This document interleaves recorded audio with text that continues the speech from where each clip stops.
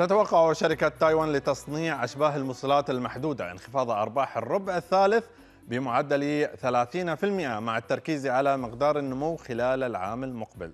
ومن المقرر أن تعلن أكبر شركة لتصنيع الرقائق التعاقدية في العالم عن أرباح صافية قدرها 6 مليارات دولار في الفترة من يوليو إلى سبتمبر. وبلغت إيرادات الربع الثالث نحو 17 مليار دولار بانخفاض مقداره 20% عن نفس الفترة من العام الماضي.